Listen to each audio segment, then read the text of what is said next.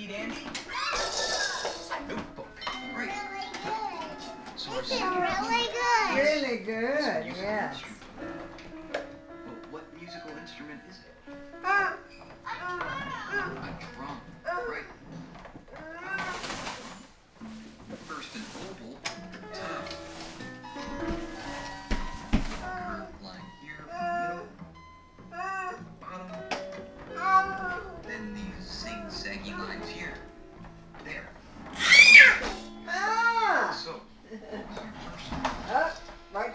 Right. And now our second clue is this. So what could we do today